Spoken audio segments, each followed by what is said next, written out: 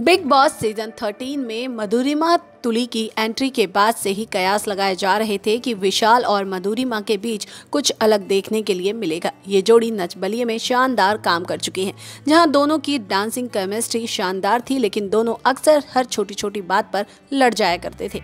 जिसके बाद big boss season 13 में भी दोनों के फिर साथ होने पर दोनों फिर एक बार एक दूसरे के नज़दीक आए।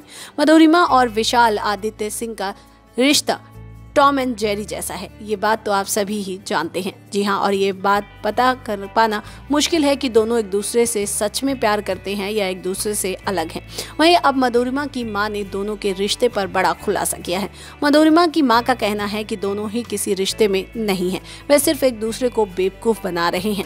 बिग बॉस सीज़न 13 में मधुरिमा और विशाल की जोड़ी के बीच हो रही अनबन और प्यार की असमंजस पर रिपोर्ट से बात की गई है तो मीडिया के मुताबिक मधुरिमा की माँ ने कहा, अगर मधुरिमा अपने फैसले से खुश है तो मैं भी खुश हूँ। मधुरिमा अगर विशाल को अपने जीवन में वापस लाना चाहती है तो मुझे कोई दिक्कत नहीं। हालाँकि मधुरिमा तुली की माँ आगे कहती है, हर बार कुछ समय बाद ही अपना रवैया वो बदल देना बचकानी हरकत जैसा है। ऐसा करके वो सिर्फ़ एक दूसरे को ही बेवकूफ़ बना रहे हैं।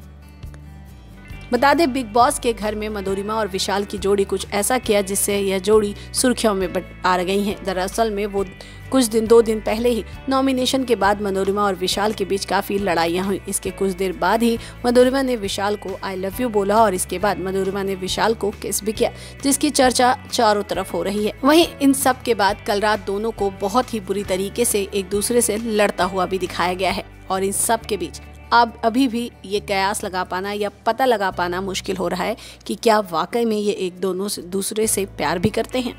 फिल्मी अड्डा से प्रियंका की रिपोर्ट।